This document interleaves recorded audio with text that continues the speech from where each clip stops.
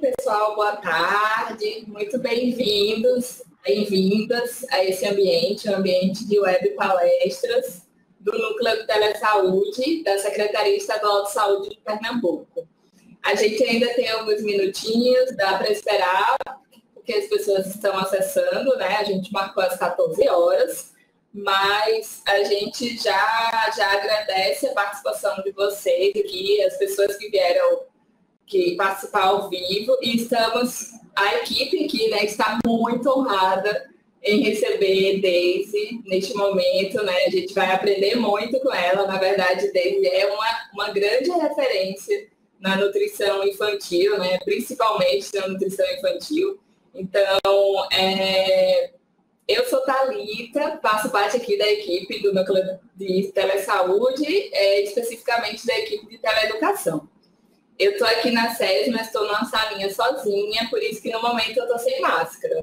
Mas saindo daqui, já coloco máscara, seguindo todas as recomendações.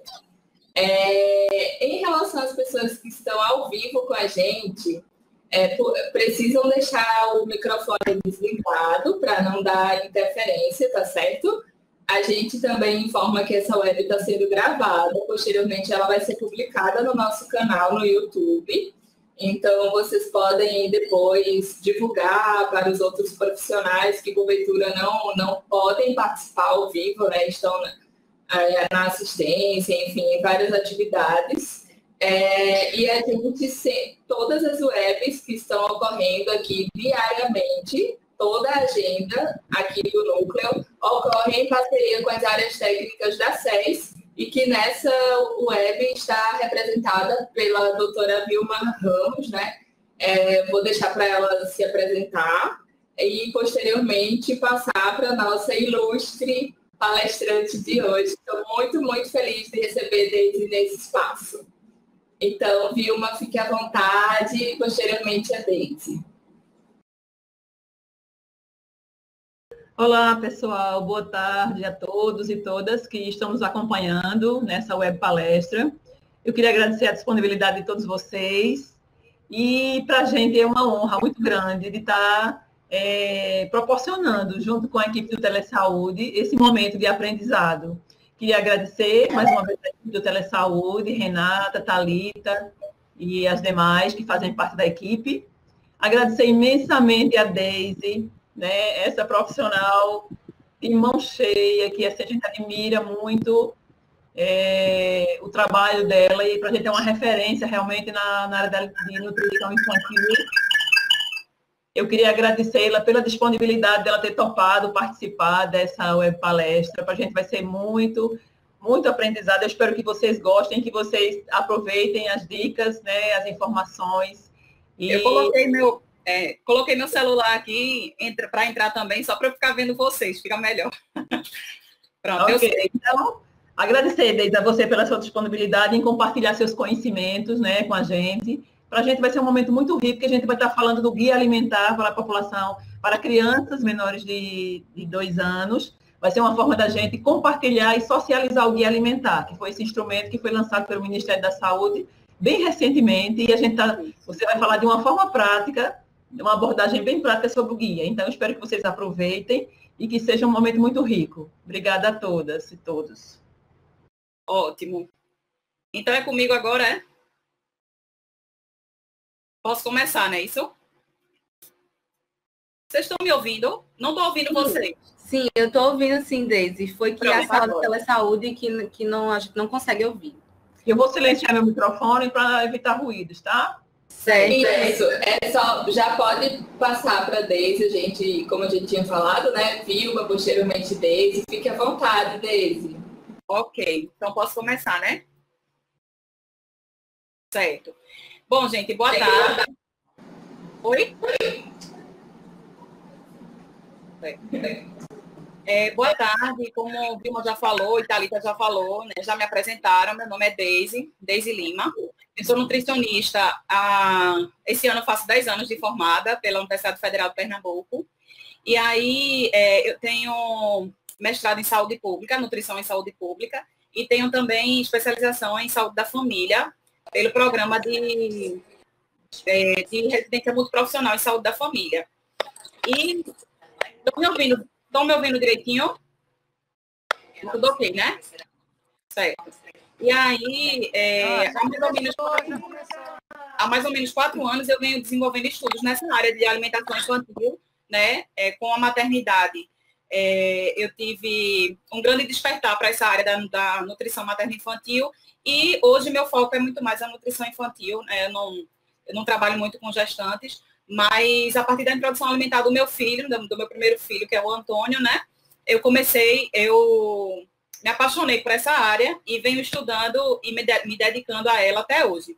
Né? Então, assim, hoje é, eu já participei de alguns eventos, né, Vilma? A gente participou da, das escutas, né, sobre o guia alimentar, né, quando o guia alimentar estava sendo, estava na fase de elaboração. E aí, de lá para cá, a gente vem torcendo pela publicação, né, desse, desse guia alimentar, desse instrumento tão importante para para o trabalho da gente enquanto profissional de saúde, né? E para a promoção da alimentação saudável e adequada.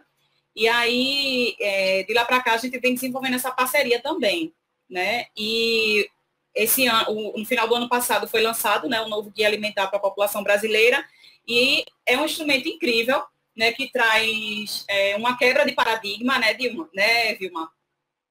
É, ele traz uma quebra de paradigma quando a gente compara ele com a versão anterior, a gente tem, a gente tem grandes avanços né, no que diz respeito às orientações, às recomendações em introdução alimentar, em alimentação como um todo, né?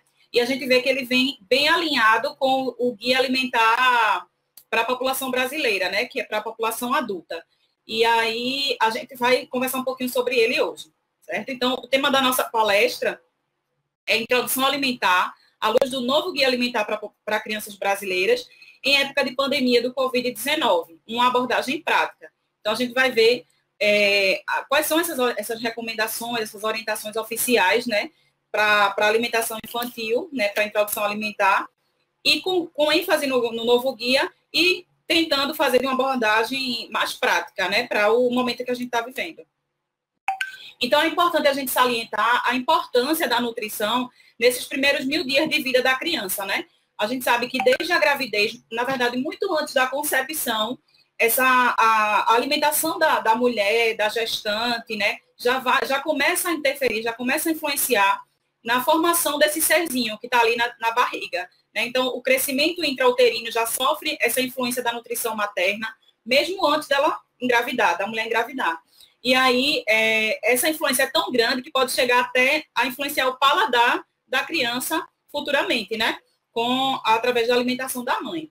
E aí, quando a criança nasce, tem a, a, questão da amamentação, né? O período de amamentação, que é recomendado até os dois anos ou mais, a amamentação exclusiva até os seis meses. E é, essa amamentação também tem um grande impacto na saúde da criança ao longo da, da infância e para o resto da vida, né? Então, esses primeiros mil dias compreende também esse período da amamentação. A gente sabe que os benefícios da amamentação são inúmeros, né?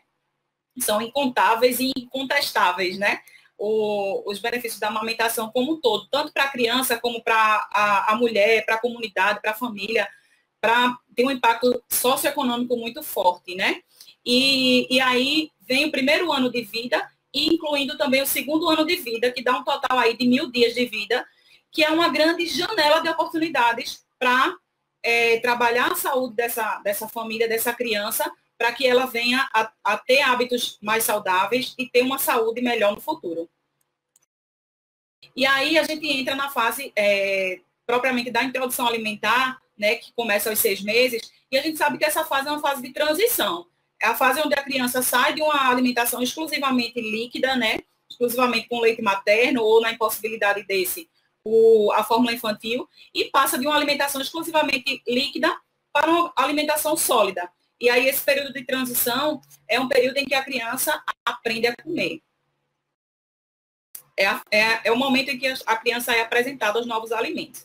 E aí, a partir desses seis meses, né, a criança, ela, além do leite materno, que continua sendo importante, outros alimentos devem fazer parte aí dessa, desse cardápio dessa criança.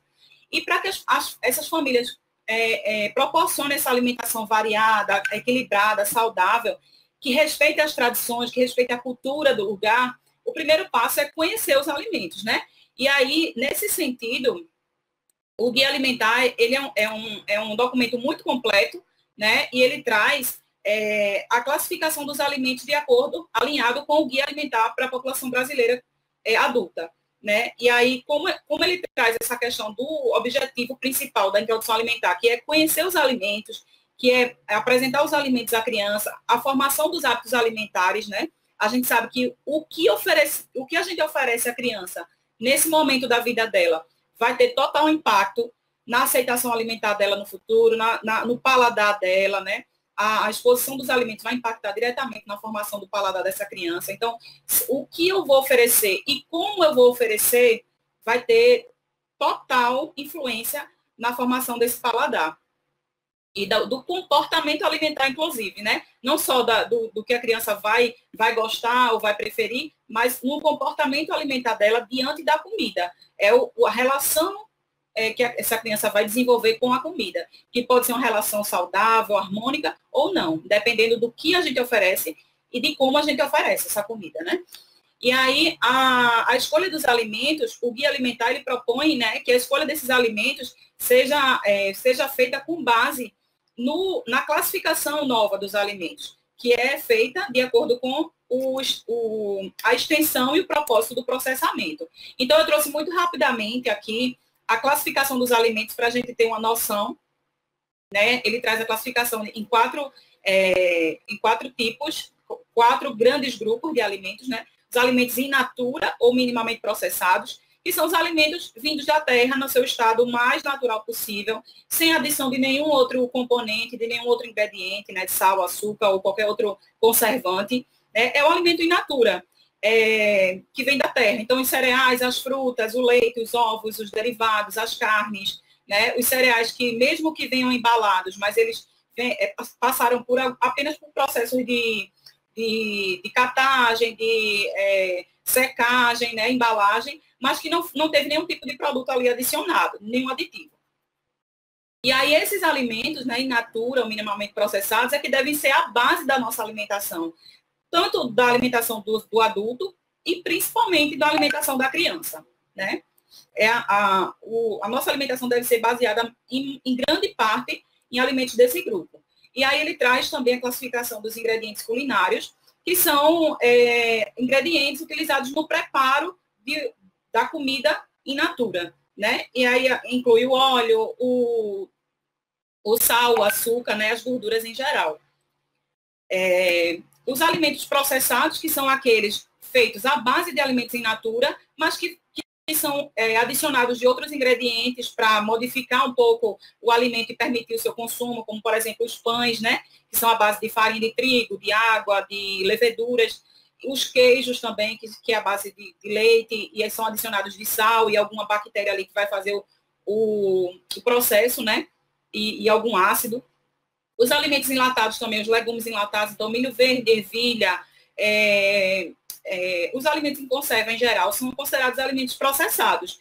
E aí esses alimentos eles devem ser consumidos, a orientação é que eles sejam consumidos em pequenas quantidades por adultos e somente alguns entram aí na alimentação da criança certo? Então, o, o, ideal é não oferecer alimentos enlatados à criança, pelo menos antes de um ano, é, mas pães e queijos, por exemplo, pode ser permitido na alimentação da criança, a partir de uma determinada idade, né?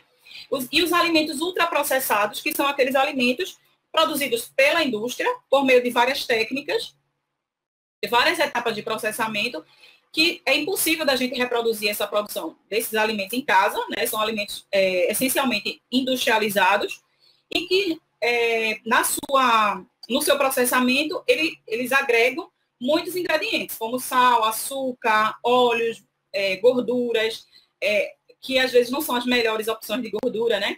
E além dos aditivos alimentares, que é o que torna esses alimentos pouco saudáveis. Então, corantes, conservantes, realçadores de sabor, que geralmente estão em excesso porque a indústria quer que esses alimentos sejam altamente saborosos, né? E aí esses alimentos a gente não recomenda na alimentação das crianças e devem ser evitados também por nós adultos. E aí esses alimentos ultraprocessados não devem ser direcionados para crianças, inclusive as papinhas industrializadas, né, que a gente sabe que é uma grande é, é utilizado, né, pela, pela população em geral é, erroneamente, e que adoçantes também dietéticos não são recomendados para a criança. E aí o guia alimentar eu acho bem interessante, Vilma, que ele traz o, é, uma sessão conhecendo melhor os grupos de alimentos in natura ou minimamente processados. Então ele vem dizendo, destrinchando, né? Ele dá a classificação e depois ele vai é, se aprofundando né, na, nos alimentos. E aí ele pega o grupo dos alimentos in natura, minimamente processados, e apresenta cada um desses alimentos de forma detalhada. Então, o grupo dos, é, dos vegetais, o grupo das frutas, o grupo das carnes, o grupo dos cereais, todos dentro desse grande grupo dos alimentos in natura. E aí ele traz uma seção bem interessante, que é a seção parece, mas não é. Porque, por exemplo, e essa sessão eu, eu achei fantástico, porque é super importante. Porque muitas vezes a família diz assim, ah, mas aí eu vou comprar, ah, é, sei lá, é, salsicha porque está no grupo das carnes. É aquela coisa, parece, mas não é. Parece carne, porque é a base de. É, eu vou, não, vou comprar salsicha de frango, porque a salsicha de frango é, não é frango. Né? Então, assim, existe essa confusão, principalmente entre as, as classes mais populares, né? de achar que porque é uma salsicha de frango ou de porco é, é, é, carne. E na verdade não é carne, não é um alimento in natura. É um alimento ultraprocessado, né? É, e aí é importante a gente conhecer esses alimentos, o que compõe cada um, para fazer as nossas escolhas, para escolher o que a gente apresentar para os nossos filhos, né? Para as nossas crianças. É, e aí, quando começar né, essa introdução alimentar? A introdução alimentar ela é recomendada é, de ser iniciada a partir dos seis meses, independente se essa criança está em aleitamento materno exclusivo ou não. Se ela tiver em uso de fórmula ou se estiver fazendo aleitamento misto, né, é, mama, mas também complementa com fórmula, independente da situação, o ideal é começar com seis meses. Por quê? Porque por volta dos seis meses é quando a criança começa a apresentar os sinais de prontidão é, existe toda uma maturidade fisiológica né, que a criança desenvolve para que ela possa ter as é, é, condições de, de, de, ser exposta à alimentação sólida. Então, das, um, dos, um, dos, principais é, sinais de prontidão é a criança estar tá sentando sozinha, ela está conseguindo estabilizar esse tronco, ficar em, é, sentadinha sem ficar se desequilibrando. Então, quando ela tá, quando ela tem essa, essa capacidade de sentar sozinha e não desequilibrar, é, é um sinal para a gente importante de que ela está pronta para receber alimentação sólida. Além disso, outros, fatores, outros sinais incluem o interesse da criança pela comida, então o adulto está comendo perto e ela está é, interessada em, em, pegar o alimento, sentir o alimento. É, ela, ela faz essa conexão mão-boca, que a gente chama, que é pegar um objeto e levar à boca, né? Então, a gente observa isso não só com o alimento, a gente observa com um brinquedo, com um mordedor, né? E é, outros sinais de, de, de prontidão, mas os principais são esses que eu falei. O interesse na comida, sentar sozinho e essa conexão mão-boca. E aí, o que oferecer, né? Oferecer, inicialmente, a gente recomenda três refeições, é o que o guia traz também. E, o, essa recomendação, ela, ela corrobora com a recomendação da, do Manual de Nutrologia, né, da Sociedade Brasileira de Pediatria. E aí ela traz como é, inicialmente a oferta de três refeições, né? O lanchinho da manhã, o lanchinho da tarde e um almocinho. E aí, é, a partir do sétimo mês, o jantar e logo no início da introdução alimentar, a oferta de água também, que é bem importante. E aí, o que seria essa, o que ofertar, né, para o bebê nesse almoço, né? O que é a comida do bebê? Que aí a, a grande, eis a grande questão, né? Então, ele traz que se a comida da família ela é adequada e saudável para os adultos, então essa criança, a partir dos seis meses, também pode comer essa comida. Né? E às vezes será necessário apenas modificar a consistência. Mas, na verdade, dependendo da abordagem que a família decidir utilizar, não é necessário nem modificar a consistência. Né? Mas às vezes a, a família é, vai por esse caminho, né? E aí eu trago, eu, eu é, quis ilustrar bem a, a, minha apresentação, né, porque acho que visualmente a gente consegue perceber melhor a, a informação. Né? Então, assim, esse, esse é um prato que vocês estão vendo, é, é um prato de almoço, né, composto por tudo que é recomendado para ser oferecido à criança, né, o prato contendo um, um alimento do grupo das proteínas, né, que é aí representado pelo peixe, né, nessa, nessa figura da, da minha direita.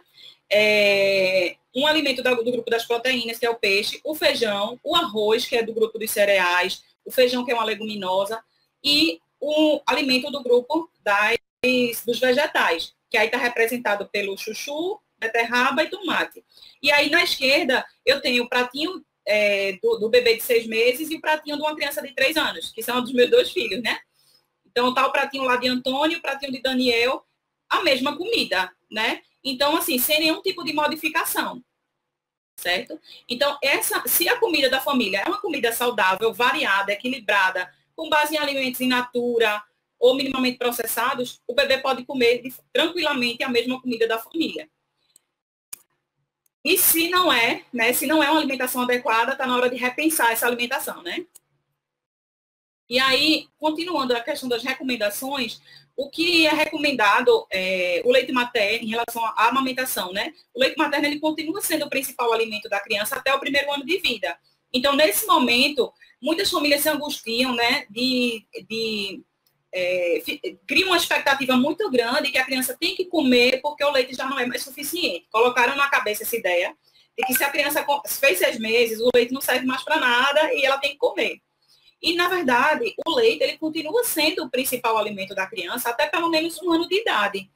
Essa aceitação dos alimentos, é, como a gente falou, a criança está conhecendo os alimentos, ela está sendo apresentada.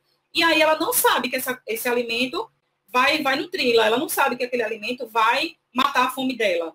Ela quer a, a, o que o está na memória dela, que mata a fome, quando ela tem fome, ela mama. E o leite é que sacia essa fome. Ela ainda não sabe que comida mata a fome. Então, o leite materno continua importante e a gente tem que tirar esse foco, nesse momento inicial, da quantidade de alimentos. E se a criança vai comer ou não. Se a criança vai comer ou não, é uma decisão dela, é no momento dela, é no ritmo dela. E a, o papel da gente, enquanto cuidador, enquanto pai, enquanto mãe, é oferecer esse alimento a essa criança. Certo? Então, é, o, o importante é tirar o foco dessa quantidade. Crianças amamentadas, elas não precisam receber nesse momento outro tipo de leite. E para hidratar, é água mesmo.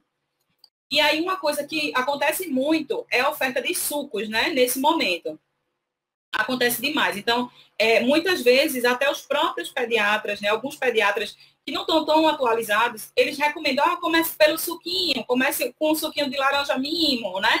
Esse é famosíssimo, né, Vilma? E aí essa orientação, é há muito tempo que essa orientação caiu, né? Deixou de ser, de ser feita, né? Porque o, o suco ele só é recomendado a partir de um ano, por vários riscos que foram observados em relação à saúde da criança. Primeiro, porque a ingestão de suco ela compromete o apetite da criança para outros alimentos. A gente sabe que o estômago do bebê é muito pequeno, então se ele enche a barriga de suco, ele não vai ter espaço nem apetite para outros alimentos que têm uma densidade energética maior, que tenham é, mais nutrientes, que tenham, que tenham mais calorias, né? Para suprir as necessidades dela nesse momento. Então, é, quando a criança também ingere muito suco nesse início, ela tem mais dificuldade para aceitar a água, porque ela, ela vai se habituar com o paladar mais doce do suco, né? Ela vai diminuir o estímulo da mastigação também, porque é diferente eu oferecer, por exemplo, uma laranja para a criança chupar, morder, mastigar, e oferecer um suco que ali eu vou ter. Eu, qual a informação que eu vou estar tá tendo, que eu vou estar tá dando para aquela criança, né? Que aquilo é uma laranja. Ela vai saber que aquilo ali é um líquido doce né? Vai gostar provavelmente, mas não vai estar aprendendo nada em relação à comida. E aí é, vai diminuir também o estímulo à mastigação, reduz o consumo de fibras, né? Que pode provocar uma constipação nesse momento, né? O bebê fica com o intestino mais preso. E aí, cáries, é, aumenta o risco de doenças, de sobrepeso, né, no futuro, não só na infância, como no futuro.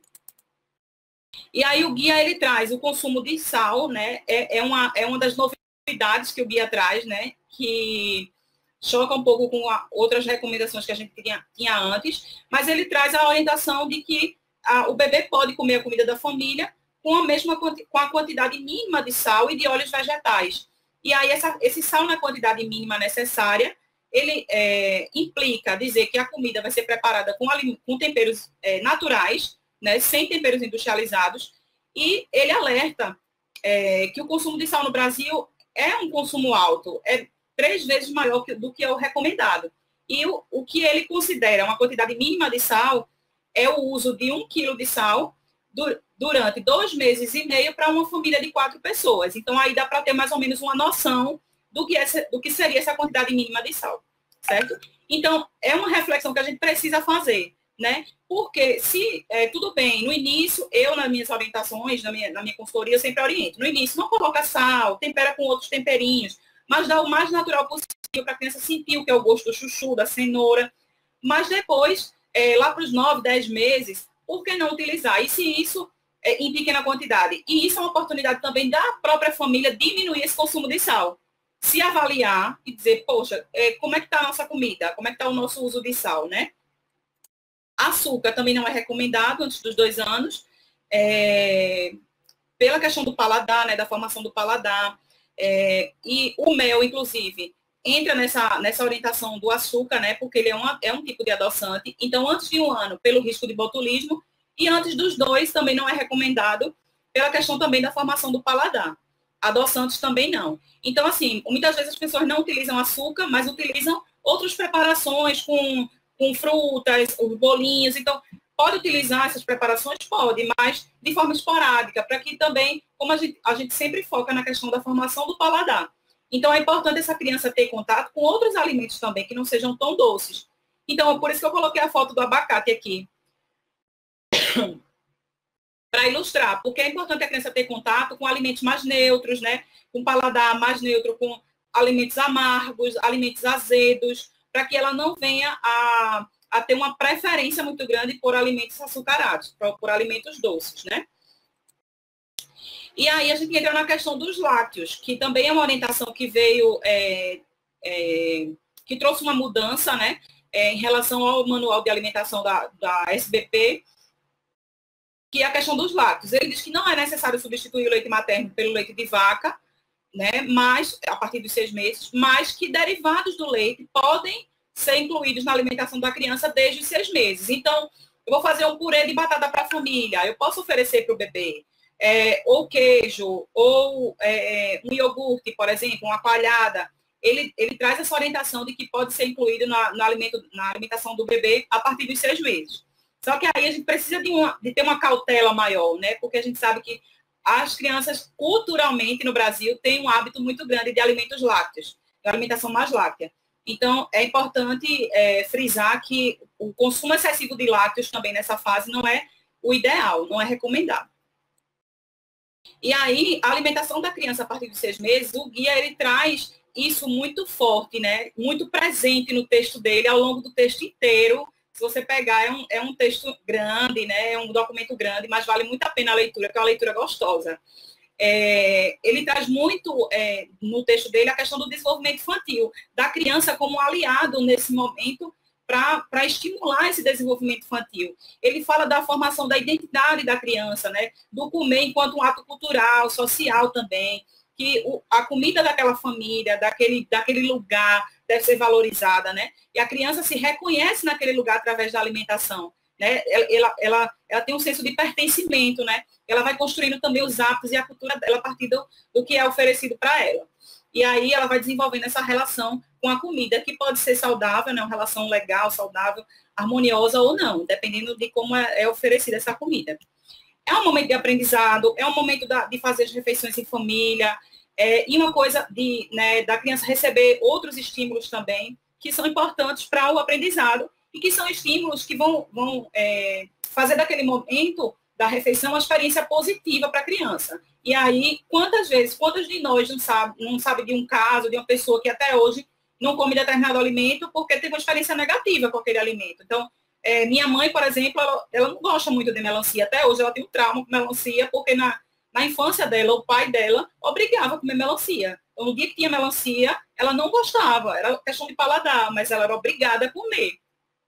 Então, assim, é, aquilo traumatizou ela, e hoje em dia ela não pode ver melancia na frente. Então, assim, é, que tipo de experiência a gente está permitindo esse bebê vivenciar, né? e, e, e o que essa experiência vai, o quanto dessa experiência ele vai levar para o hábito alimentar é, é, para o resto da vida. Né? Então, é super importante. Então, uma coisa super importante é, é respeitar os sinais de fome e saciedade da criança. respeitar o ritmo dela também, né? A interação da criança é, com a criança durante a refeição e é, não forçar, jamais forçar uma criança a comer.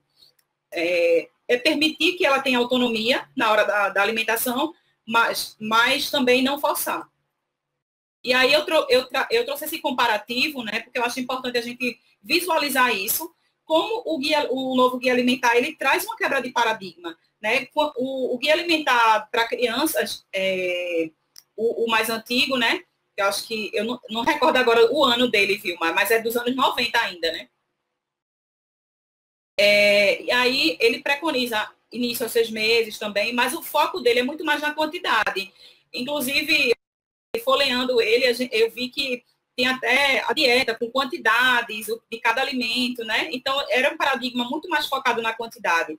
E a forma de oferecer era muito mais estimulada a, oferta em, papa, de papas, né? E na colher. A ênfase era mais em nutrientes, enquanto que hoje o novo guia alimentar ele traz a ênfase nos alimentos, na comida, né?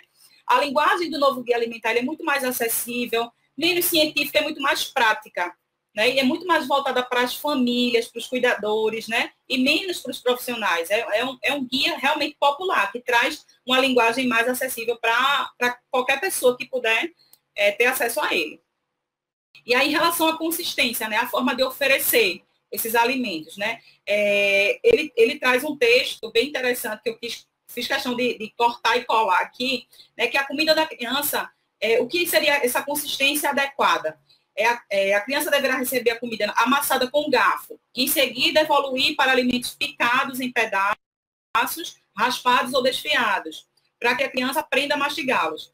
Também podem ser oferecidos alimentos macios e em pedaços grandes, para que ela pegue com a mão e leve à boca. Então, isso é um texto que ele não deixa claro qual abordagem a família tem que seguir. Ele não deixa, na verdade, ele não deixa, ele não diz, tem que fazer assim ou tem só em pedaços, ou tem que fazer só amassado, né? Ele dá um leque de opções. Ele deixa a família mais, mais livre para fazer as suas escolhas, né? Então eu achei bem interessante. Ele mostra, ele diz que pode dar comida amassada com garfo, mas também pode dar pedaços, e é bom que dê pedaços, né? Então, no texto inteiro, ele vem trazendo isso, né? Essa mesclagem aí de, de, de formas de oferecer.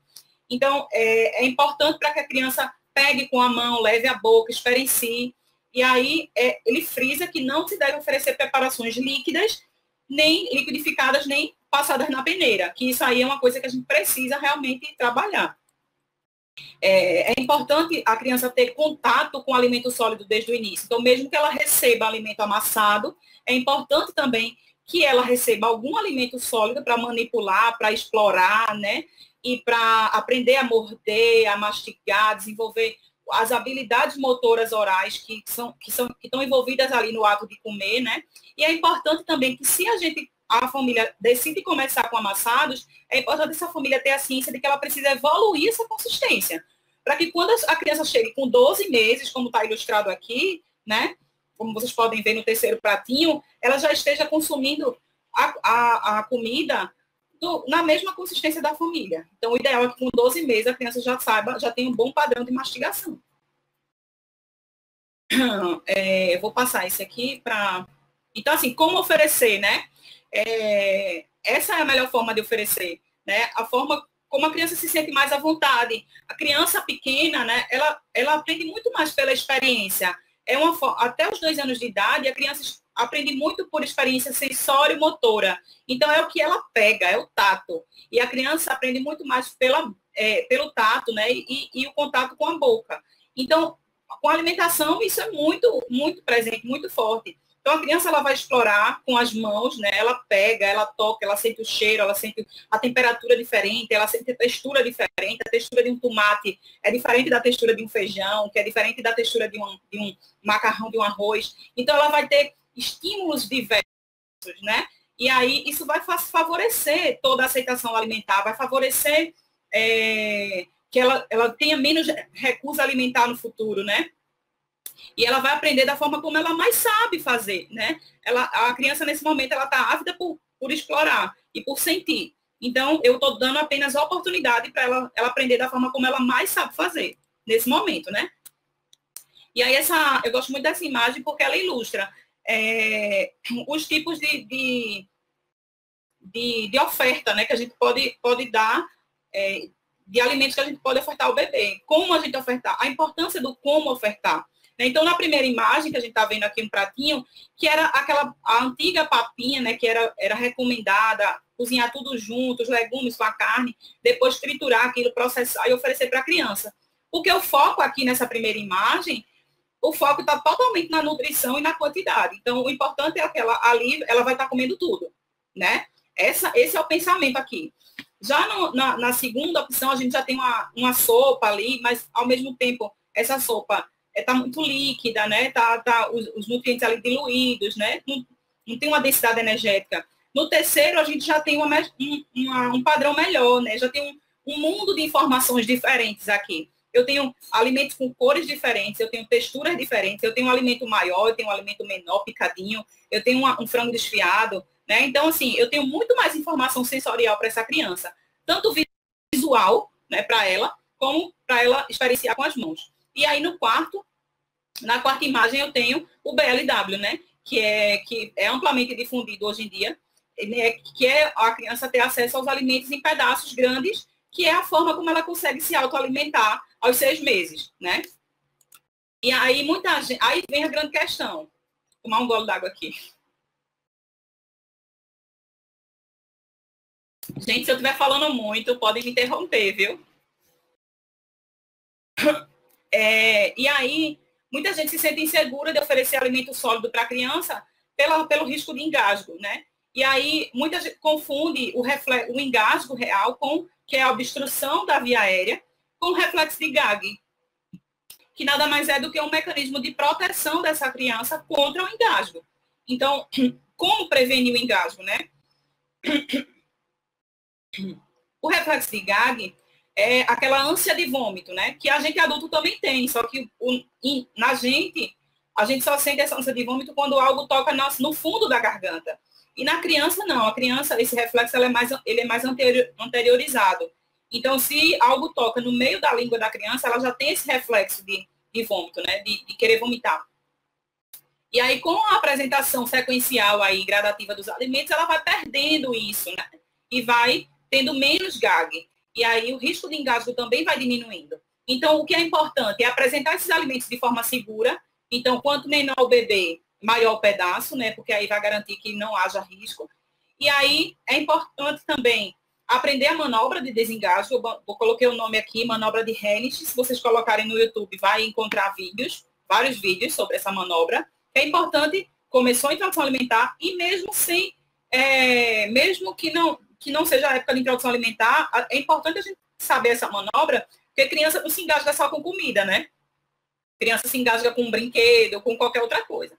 E aí, é, não deixar que esse medo paralise a gente e a gente, por esse medo, deixe de, dar a oportunidade dessa criança de aprender a mastigar. Porque o que eu vejo, Vilma, assim, é, infelizmente chega crianças para mim que, que, que as mães desesperadas, porque o menino está com dois anos, dois anos e meio, três anos, e comendo papinha ainda, comendo tudo muito amassado, só come comida liquidificada, não come feijão, não come arroz, não come nada, porque é, não progrediu essa, essa consistência. Então, ele perdeu a oportunidade de aprender a mastigar, que é super importante nessa, nesse primeiro ano de vida.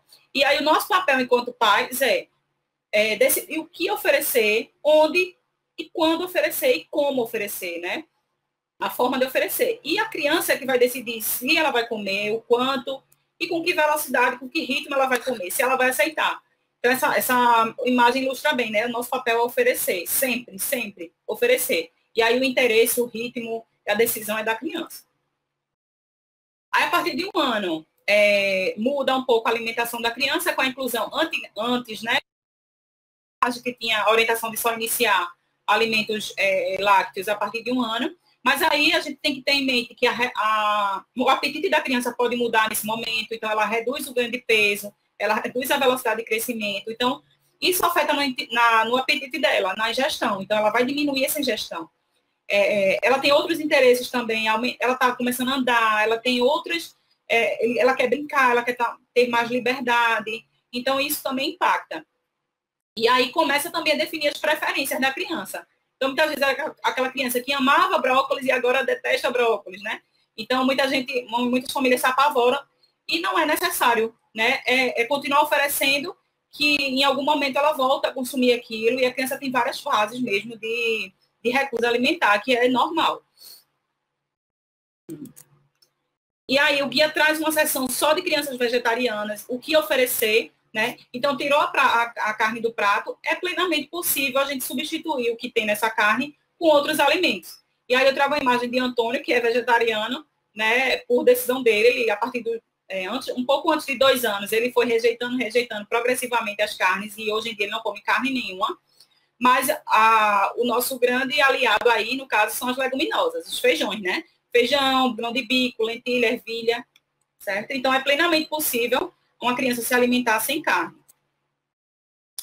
E aí, para finalizar, a gente, o guia ele traz uma, uma sessão bem interessante, que é a alimentação, é, lidando com os desafios do cotidiano para a implementação de uma alimentação adequada, né? Então, um dos desafios, existem vários desafios, como o retorno da mãe ao trabalho, a entrada da criança na creche, mudanças de rotina, né? E aí eu destaquei a mudança de rotina porque a gente está vivendo num momento, né, Vilma, que, que obrigou a, a, a, gente a ficar mais em casa. Então, como fica essa introdução alimentar em tempos de quarentena, né? Que aí é, é o nosso, é, para a gente finalizar aí, entrando um pouco nesse foco da, da, dessa pandemia que a gente está vivendo, né? Então, a pandemia, ela, ela forçou a, a família a retornar para casa, a ter uma, uma impôs a gente uma nova rotina dentro de casa, muitas pessoas que trabalhavam fora o dia todo, a criança era alimentada na creche ou no hotelzinho, e aí surgiu essa necessidade de cozinhar. E muitas famílias se viram com cabelo em pé nesse momento, né? E aí é uma, foi um momento de muitas famílias repensar os hábitos alimentares. Eram, eram famílias que tinham uma alimentação completamente diferente do bebê, né? Porque comiam fora, porque pediam comida, porque não sabiam cozinhar, não tinham habilidade, não tinham tempo de cozinhar, e agora se viram obrigadas a fazer isso, né? Então, foi um momento de repensar os hábitos alimentares da família como um todo é, e fazer a comida para a família, não apenas para o bebê. E comer junto também, uma oportunidade também de comer junto e não dar de comer, né? É, que muitas vezes a gente vê que a família dá de comer ao bebê e exclui ele daquela, da, do momento da refeição, da dinâmica da refeição de toda a família. Então, é, isso, é, a quarentena trouxe essa oportunidade também do comer junto à mesa, todos juntos, e não apenas dar de comer ao bebê. E aí ela traz, o guia traz essa sessão cozinhar em casa, que é muito interessante. Então, minha gente, peguem esse guia, esse guia está disponível na internet, né? É só digitar lá no Google, novo guia alimentar. Eu quero, viu, viu? Mas acho que eu mereço um guia, um guia impresso. É, e aí ele traz essa sessão cozinhar em casa, que é maravilhosa, minha gente, maravilhosa. Tem muitas dicas legais, né? É, de preparo, de, de, seleção, de armazenamento, enfim, ela é muito completa essa sessão. E aí, por que aí ela traz né, alguns questionamentos essa sessão. Por que cozinhar em casa? Quem é que pode cozinhar? As orientações para cozinhar em casa, os utensílios necessários, a organização do cardápio da semana, porque uma coisa que, que foi imposta para a gente, que é uma necessidade da gente nessa quarentena, é de se organizar, de planejar a alimentação da casa. Porque sem, sem planejamento e sem organização, a gente não, a gente se perde completamente. É, e aí ela traz também é, dicas de organização da cozinha, de higiene conservação dos alimentos. Então, é um momento também de, de trazer, de desenvolver novas habilidades, que era o que o Guia Alimentar para Adultos já trazia, né, como uma orientação de, de desenvolver habilidades culinárias. Então, vamos aproveitar essa oportunidade, né? E também a oportunidade de chegar, de trazer a criança para a cozinha também. Né? Então, crianças maiorzinhas, que já têm uma dificuldade alimentar, que já têm uma recusa maior, então, por que não incluir elas no preparo, no, na seleção dos alimentos, enfim, né? Em todo o processo aí que vai é, culminar com o alimento na mesa. E aí eu trouxe algumas dicas práticas, né? Para esse momento aí que a gente está vivendo. Então, primeira coisa de todas, planeje o cardápio da semana.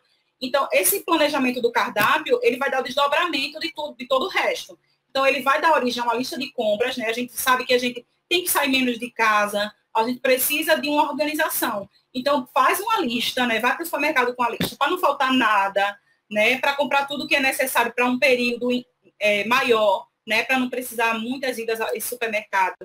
Otimizar as compras. Então, é, tenta fazer uma, um planejamento para 15, para 30 dias, se não for possível, 15 dias, né? Então, alguns legumes e algumas frutas têm uma durabilidade maior. O, é, quais são? Chuchu, batata, cenoura, dura muito mais tempo na geladeira do que outros, outros, outros legumes mais frágeis, né?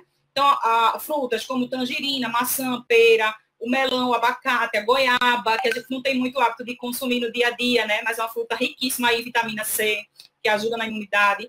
Então, é, uva, maracujá são frutas que são mais menos perecíveis, né?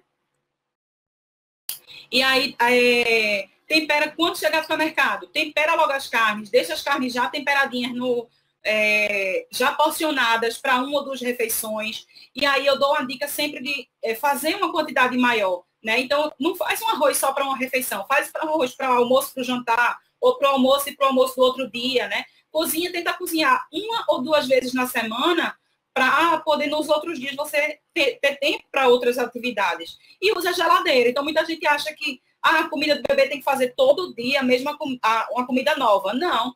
Você pode oferecer uma comida para o bebê hoje, guardar na geladeira a sobra e amanhã você utilizar essa sobra, né? Então, use a geladeira a seu favor. Esse é o momento. Otimize processos, gente. Isso é muito importante. Eu sempre, quem, tá, quem me acompanha no Instagram sabe que eu sempre digo isso. Então, tenha sempre um molho de tomate. Vai fazer molho de tomate com macarrão de hoje? Não faz só para hoje. Faz um molho de tomate, bota em potinho, congela.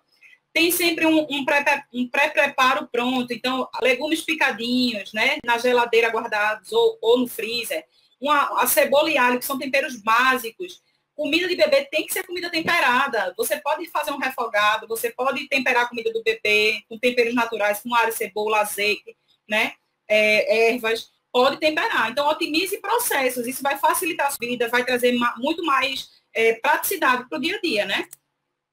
E eu sempre digo, quem congela sempre tem, né? Então, é uma dica que eu sempre dou, né, para quem está me acompanhando aí, né? Quem congela sempre tem. Então, praticamente tudo na cozinha dá para congelar, do, do, grosso, né, do básico. Então, feijão, arroz, carnes, sopas, é, para cozinhar muita coisa, que isso vai facilitar demais o dia a dia. Então, para o bebê, como vai ter que ter uma, uma, uma, inicialmente sem sal, cozinha uma porção, tira uma porção antes sem sal e congela em pequenas porções, para quando for descongelar, descongelar só a porçãozinha do bebê, né? É, aqui é, é, um hambúrguerzinho que é carne moída, então você faz uma quantidade maior e, e congela, e aí tira só a porçãozinha do bebê para descongelar e, e, e assar na hora. Para legumes mais sensíveis, a gente tem a técnica de, de branqueamento né, dos vegetais, que nada mais é do que fazer um choque térmico, e isso vai garantir uma vida é, útil maior desses alimentos, né? É, essa, essa dica que eu já falei, né? Cozinhar a comida da família toda, tirar uma porção no final, antes de terminar o cozimento, tira uma porção. Aí, eu, no caso do arroz, eu diluo um pouquinho da, do sal em água, acrescento no nosso e o dele está lá separadinho, né? Sem sal, para terminar de cozinhar. Isso é uma forma que eu, que eu encontrei mais prática de, de agregar sal depois, né? Para não precisar colocar o sal no prato. Né? E aí dá super certo. E aí, minha gente, para finalizar, né, é, eu queria deixar essa mensagem né, que o comer é muito mais do que ingerir nutrientes. Então, a gente tem que pensar em introdução alimentar como uma fase em que a criança está aprendendo muito mais do que comer muito mais do que se alimentar e, ingerir nutrientes. Ela está ela tá aprendendo a se relacionar com a comida, a se relacionar com pessoas, com quem está junto dela, com a família, né? Como eu falo aqui, ela, a, o comer vai muito mais além de promover saúde, porque comida não pode ser reduzida a uma classificação entre saudável e não saudável, né? Comer é se relacionar, é conviver, é partilhar, é somar, dividir, dividir a mesa, o pão, a refeição a companhia, os afetos, é construir projetos juntos, quantas mesas, quantas reuniões não se dão na mesa, né? É celebrar. Então, celebremos a vida e a oportunidade de dividi-la com alguém, de preferência a mesa, farta de comida boa, com sabor, afeto e amor. E aí a foto dos meus dois filhotes, que são minhas inspirações aí para o meu trabalho, né? Comendo juntinhos. Aí Daniel tinha acho que uns oito meses né, já sentadinho na, na cadeirinha baixa aí com o Antônio e se é, deliciando aí com brócolis, com a refeição, que é a mesma dos dois, né? E é, é, o que a gente come também. Então, minha gente, eu queria agradecer, essa é a minha família, né? É, tá aí os meus contatos. E eu queria agradecer imensamente aí a oportunidade. Eu sei que eu passei um pouquinho do tempo, né? Porque eu gosto de falar. e eu queria trazer as principais coisas aqui que, que, que Vilma me propôs trazer, né? Então é muita informação, eu sei, mas quem sabe num próximo momento a gente possa aí trazer outras, agregar mais coisa aí. Mas obrigada, obrigada.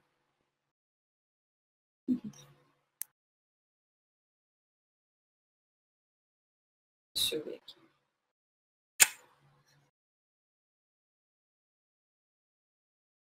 Oi, Vilma? Tá me ouvindo? Tô, tá, a Leita está ah, entrando. Ah, pronto, ela, ela vai trazer, ela vai trazer para a gente as perguntas, se, se, por acaso tiveram perguntas, as considerações, ela que faz essa mediação. Eu estou vendo que ela está tentando entrar aqui na outra tela. E ela está vendo aqui, participando do chat aqui, está acompanhando né, a, a, a participação do, do, pessoal aí que acompanhou a, a sua aula, tá certo? Eu estou só aguardando ela entrar para ela fazer as, essas considerações, depois eu falo, depois dela. Certo. Oi, gente, eu já estou aqui com a câmera aberta, não conseguem me ver? Não, a, a, a sua tela não, tá como se estivesse carregando. Agora. Agora. Ah, tá ótimo, então. então, é, Daisy, gratidão enorme por, por esse momento, né, de compartilhamento de, de vida mesmo, né? Você traz, assim, é, as evidências científicas mas com imagens dos seus bebês, a coisa mais linda, assim. E é muito legal porque, assim, você traz, um, um, veio a, a, a, minha reflexão aqui, um conceito da experiência pessoal, né? Quando a gente, a gente é profissional de saúde, a gente está no ambiente, por exemplo, numa maternidade, e quando a gente vai falar de amamentação, para quem já passou por esse processo, é muito, muito mais rico né? Porque além da experiência, tem a experiência pessoal. Quando a gente não passa por, por esse processo, a gente chama, né, no conceito de, de alta eficácia, de experiência vicária. Então, assim, maravilhoso poder aprender contigo aqui. Eu já disse no início que eu sou muito sua fã, né? Oh, obrigada. É, eu, vou, eu vou ler alguns comentários que estão aqui no chat, mas não sei se a Vilma já queria fazer alguma fala antes, porque eu vou organizando aqui os comentários. Eu estava nervosa, eu tava nervosa, angustiada com o tempo, né? Porque eu estava vendo o tempinho correndo ali. Eu, meu Deus, eu tenho que correr. Aí eu falei um pouquinho mais acelerado, mas espero que tenha sido, que deu, deu para entender mais ou menos a mensagem. Com certeza deu para entender e não se preocupe com o tempo. Eu sei que assim, né, a gente tem buscado realmente fazer dentro do prazo, mas você é, te ouvir não dá vontade de parar, né? Então foi maravilhoso. Não se preocupa com o tempo. As pessoas que estão aqui ao vivo com a gente estão muito satisfeitas, tá bom?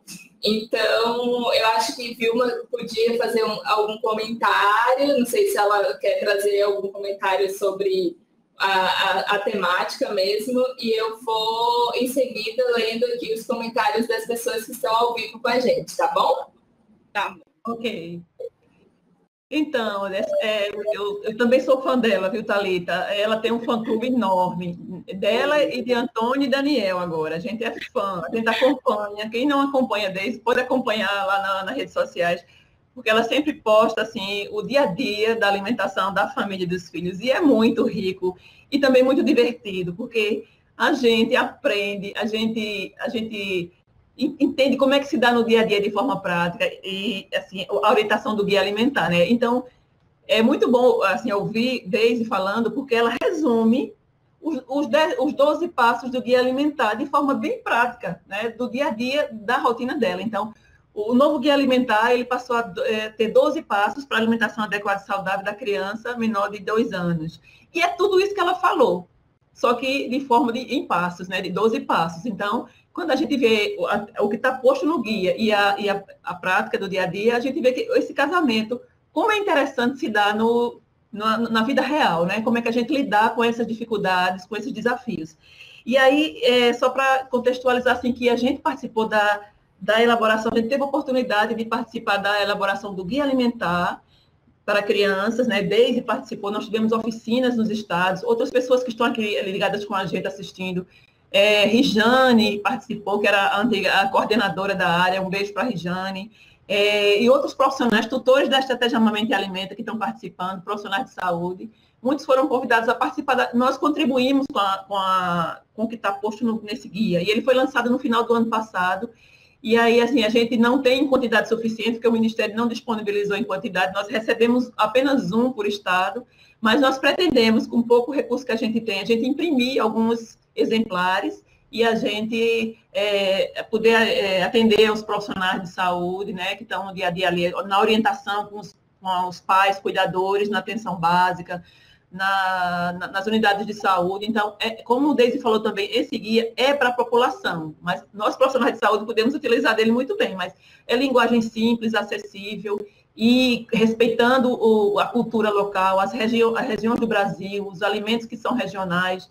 Então, é um guia muito rico. E a gente teve a honra de participar da, da elaboração dele, de contribuir de alguma forma para que ele é, fosse, fosse lançado e, e, é um instrumento de educação alimentar e nutricional para a população brasileira.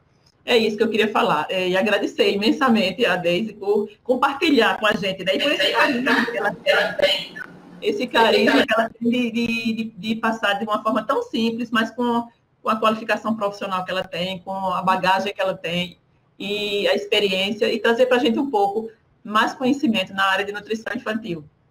Obrigada. Obrigada, É isso mesmo, assim, quando a gente escuta Daisy, é, para mim, desconstrói um pouco daquela coisa de assim, cozinhar é difícil, sabe?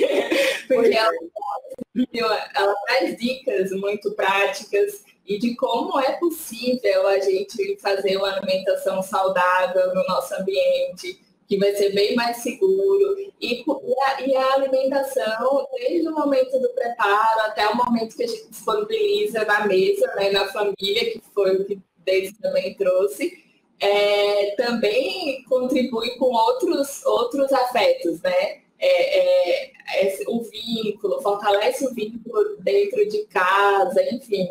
É muito, assim, muito é, é uma coisa que, que a gente vê que é possível. Todo, é possível, todo mundo pode cozinhar, né? Até a criança. Então, ela pode ser incluída em algum preparo, em alguma coisa básica, segura, né, para ela, mas ela pode ser incluída também. Então, é, muitas vezes as pessoas dizem assim, ah, mas eu não sei cozinhar. Mas o, o quanto de gente que eu vi nesse, nesse momento aí de, de quarentena desenvolvendo essa, essa habilidade não foi brincadeira, assim, de tanta gente. Então, coisas básicas do dia a dia que, que as pessoas não sabiam fazer, um feijão, um arroz, e começaram a despertar esse interesse. E aí foram fazendo, dizendo, ah, é, deu certo. Né? E isso é muito motivador, porque, principalmente para o meu trabalho, porque é, o que eu quero é, é, mostrar isso, essa possibilidade de que todo mundo, é, é possível a todo mundo, a qualquer pessoa aprender a cozinhar né, de forma prática, saudável, saborosa, né, sem abrir mão do sabor também, né? Porque é, tirando aquela ideia, desconstruindo essa ideia de que a alimentação saudável e nutritiva é ruim, é só sinônimo de salada, né, de coisa sem sal, de, sem tempero, e não, desmistificando isso um pouco, né? De que no dia a dia é possível assim comer bem e com prazer de comer, né? Com, com sabor, com muito sabor. E tá aí os meninos que não deixam, me deixam mentir, né? que com é prazer. É verdade. Depois que a gente vê a foto de Antônio agarrado com brócolis, não dá para deixar de comer brócolis, gente. Pelo amor de Deus. Pois é.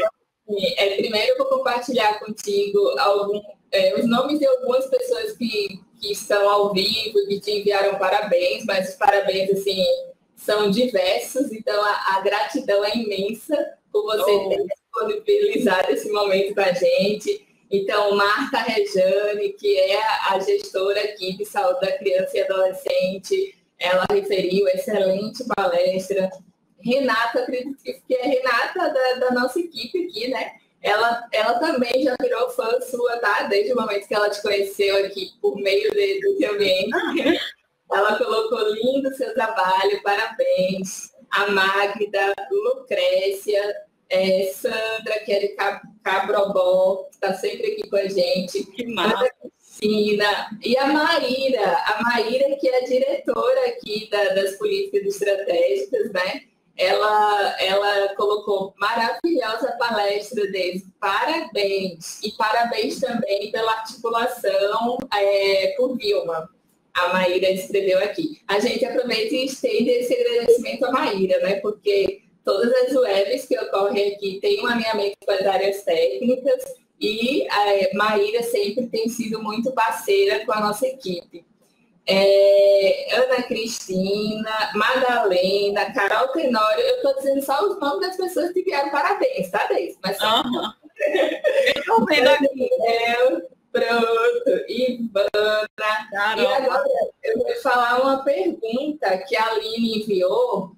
É, a quantidade de 120 ml de suco para maiores de um ano é durante o dia ou por refeição? É, é o dia, é a quantidade do dia. Então, de preferência, é, após a refeição, né, se for oferecer no almoço e no jantar, por exemplo, 60 ml no almoço, 60 ml no jantar. Contanto que no total do dia seja 120 ml. De preferência sem açúcar, que seja da fruta natural, né, da fruta, sem açúcar, nessa quantidade e após a refeição. Certo, obrigada, Deise. É, a Sueli Marques ela disse que é aluna de nutrição da UFPE e estudou esse conteúdo semestre passado e ela te agradece pela excelente revisão. Oh, meu Deus. E, Renata, eu, eu agradeço demais a participação, né? Porque eu sei que é difícil a gente hoje em dia para a concorrência de informação é tão grande para a gente parar uma hora assim para assistir uma palestra, né? É, é difícil, mas eu, é por isso que eu agradeço muito a todo mundo que entrou, que participou né, que prestigiou o momento da gente aqui. Agradeço demais. Sim, sim. na verdade, Deise, a gente está usando duas salas, porque essa sala lotou, tá? Acho que daqui a pouco Renata consegue enviar para a gente a, a quantidade atual, mas a gente está usando duas salas. Só para dizer que, que tem, foi muita gente, assim, a gente sabe que tem profissionais que no momento está tá na assistência, né? Não pode, não pode participar ao vivo, mas é, a adesão enorme aqui da participação também de forma síncrona desse momento contigo, né, com a gente. Então, continuando, é, a Renata sugeriu, é, Vilma, colocar esse guia para disponibilizar para os profissionais de todo o estado. Então, se você concordar, a gente pode colocar no nosso portal, no portal uma, uma, boa, uma boa lembrança essa, Thalita. Deixa, deixa eu falar aqui só. E, tanto o guia de adulto como esse guia infantil e o, o folder dos, dos 10 passos e 12 passos para criança, 10 passos para adulto e os 12 para criança. Eles estão disponíveis lá no portal da Secretaria Estadual de Saúde. Nós deixamos cinco arquivos disponíveis, certo? Qualquer pessoa pode acessar, está lá em PDF, para facilitar. O Plano Estadual de, de, Combate à Obesidade está lá, os dois guias, infantil e adulto, e os dois folders com espaço para alimentação adequada e saudável. Estão disponíveis lá na, na, no portal da Secretaria Estadual de Saúde, onde tem serviços, aí você procura a coordenação de segurança alimentar e nutricional, fala um pouco da nossa coordenação, o que, é que a gente desenvolve, o que, é que a gente faz, e tem esses cinco ou seis arquivos que estão lá disponíveis, tá certo? Excelente, excelente, Vilma. É, então tá no site da SES, é isso? Ele está no site da SES? Certo. Sim, Se tá no portal da SES. SPE.gov. Ok. Pronto. E Sibeli colocou aqui também um guia em PDF aqui no chat. É, guia da Criança 2019. É sobre esse que vocês estão falando? É, né? Pronto. É, Lucrécia referiu que muito bom quando saímos do guia teórico e ingressa de uma forma didática, tornando a prática quase real no momento pela forma de abordar. Eu super concordo contigo, Lucrécia, porque é, foi muito viva a apresentação de Daisy, né? É, ela traz muito bem as evidências científicas, mas com essa experiência pessoal muito forte que ela tem, né? Então, é, fica muito mais para gente, assim, que, que não é da área de nutrição ou que sempre teve resistência de fazer comida, né? Assim, uma pessoa como eu. Então, quando a gente vê as dicas de Deise, nossa, vamos se, se animar aqui em casa para fazer comida, comida saudável. É, é, então, continuam aqui os parabéns. Não sei se alguém teria mais alguma pergunta. Como a gente não recebeu mais perguntas desse, eu já passo então para vocês para a gente fazer a, a, fala final, tá?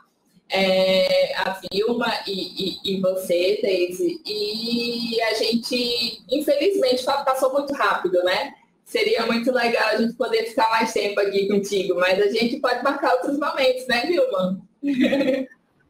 então, eu passo para a Vilma, a gente não recebeu mais perguntas.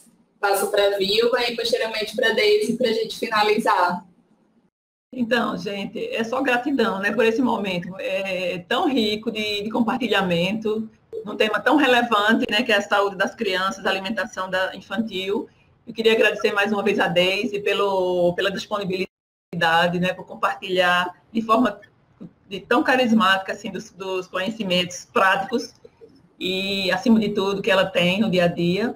E a vocês que nos acompanharam, a gente está aberto para outros temas. Quem, quem quiser sugerir outros temas, que a gente possa formar outra palestra na área de alimentação e nutrição e segurança alimentar, podem deixar dicas que a gente tenta se organizar, né? Que nesse momento de, de pandemia que a gente está vivendo e a gente essa, essa ferramenta que a gente tem de levar conhecimento e informação de qualidade, né? Informação para a saúde. Então, estamos, estamos à disposição para para sugestões, né? De, sobre outros temas na área da alimentação e nutrição. E mais uma vez agradecer a Talita e a Renata da equipe Telesaúde por, por nos apoiar né, nesse, nessa, nesses, nesses momentos agora de, de trabalho remoto, né, que a gente precisa levar informação de qualidade para toda a população. E agradecer a todo mundo que participou é, esse momento tão rico. Como eu falei, os, os guias estão lá no portal da SES, é só acessar. O, tanto os guias como os folders estão lá disponíveis. E a gente está à disposição para todo mundo agradecer mais uma vez e desejar uma boa tarde para todo mundo. Obrigada. Obrigada, Vilma. Fique à vontade, Daisy.